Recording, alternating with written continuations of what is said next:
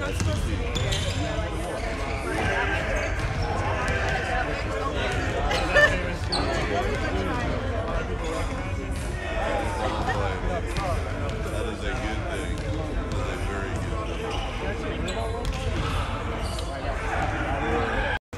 still got capable defenders. We still got Draymond. It's been uh, at least 30 years. We got uh, guys that's coming in that's capable. So uh, it's gonna be a, a learning experience for a lot of guys. But once they learn, I think they'll be